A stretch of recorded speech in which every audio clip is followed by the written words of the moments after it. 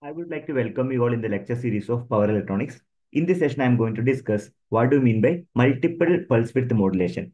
In the previous session, I have discussed about single pulse width modulation, and we have found that there are more number of odd harmonics which is present in that particular technique.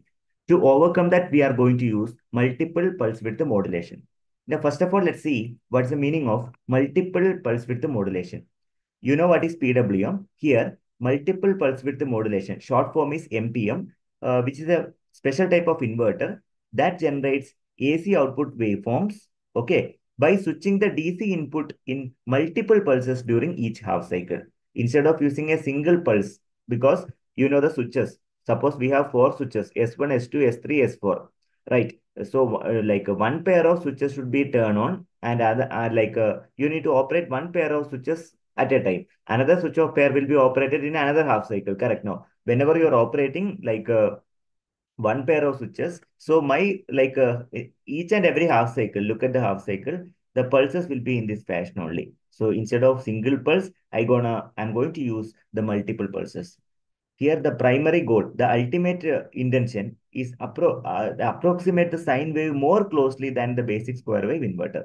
Okay, so it tries to output will be approximate to sine wave, uh, like compared to like a square because we require the sinusoidal waveform as an output because most of the electronic and dedicated instrument, delicate instruments that will be operating under sine wave. So by using this technique, uh, the square wave will be almost closer to that of sine wave. So that is the plus point of this particular inverter. Okay, so I think you understood uh, like what is the meaning of multiple pulse width modulation. Okay, so why we are using multiple pulse width modulation? So let me go to more details of multiple multiple pulse width modulation. Here the output waveform is broken into several narrow pulses. So like we never get uh, the single pulse. In spite of that, we are getting the broken pulses. Okay, uh, the inverter switches on and off in several times to create these pulses. That is another specialty. So uh, the peculiarity is the multiple pulses will be occurring in each and every half cycle. Each half cycle, there will be multiple pulses. That is another observation which we can make. So that will uh, try uh, the conversion of square wave into sine wave, almost sine wave, because we cannot share that this is pure sine wave. It will approximately make the waveform into sine wave. That is a speciality. By the way, the harmonic content will be minimized. If the harmonic content is minimized, what will happen? Uh, our power quality will be improved. If our power quality is improved, what will happen? Your life, life, the lifespan of the equipment will be improved. Correct? No, you can operate the equipment with a high life, a long lifespan. So your uh, like uh, maintenance cost also will be reduced. So these are the plus point of improving the power quality. The width and the position of the pulses are controlled based on the modulation technique. Okay, like uh, we have reference signal and control signal. Accordingly, we can change. Okay, uh, that's all about like uh, uh this uh, basic introduction of this session. Now, uh, let us see the waveform so that you, you can have a better understanding. So everybody can observe here. we have triangular waveform and a square waveform. Triangular waveform is known as carrier signal, where square waveform is known as reference signal. So we require a comparator. Okay, using the comparator, like a triangular waveform is compared with the square waveforms. Uh, by the way, uh, the the uh, like a production of the pulses. So triggering pulse will be generated, and those triggering pulses will be directly given to gate terminal of the IGBT or MOSFET.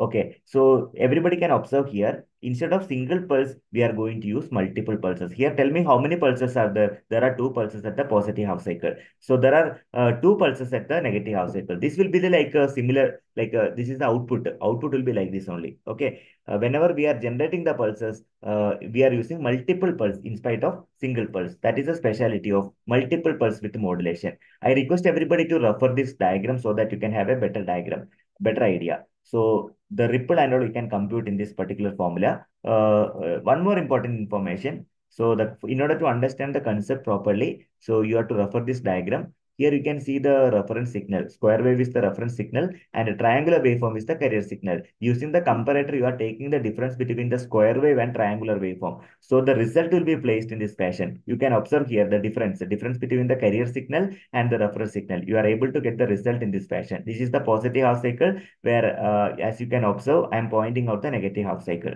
So here, the frequency of the reference signal is determined by the frequency of output voltage. That is 2. If I like, uh, if I increase, if I want to increase the frequency, I have to increase the frequency of the uh, like uh, uh, the uh, reference signal. I think it's clear to everybody.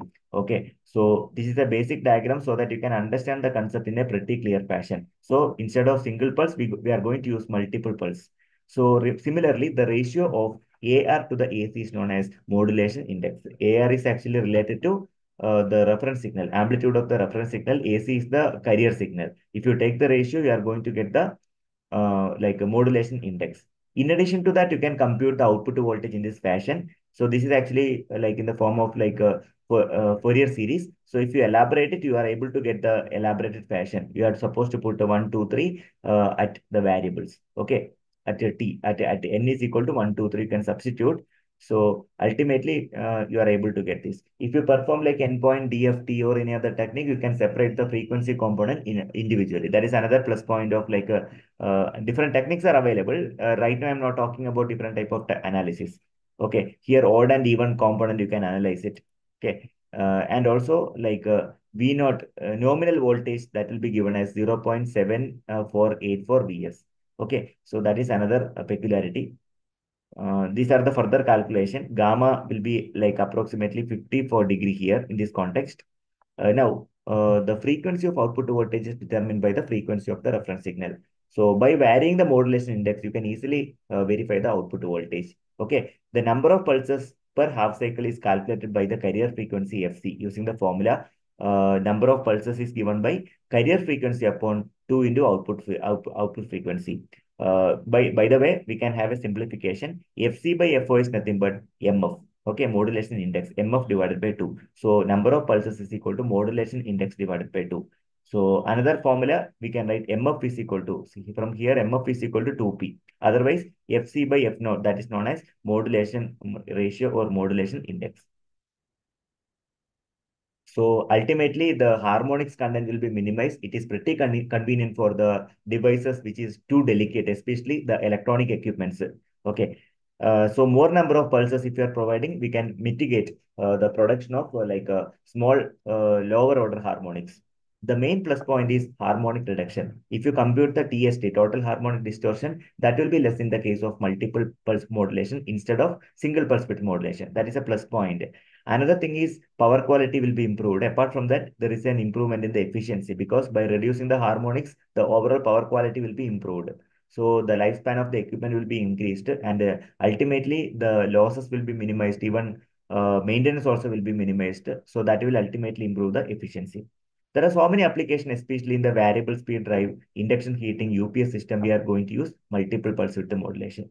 So I am very uh, fortunate to convey my thanks to the audience, those who are observing this video very carefully. I wish uh, like all the very best for your forthcoming examination and uh, always thankful for your uh, humble support. Happy learning. Have a great day. If you are watching our channel first time, kindly subscribe our channel for getting more videos. Even I, I request you to give the like for like a, uh, for a uh, for, for, for your concern. Thank you so much for watching this video.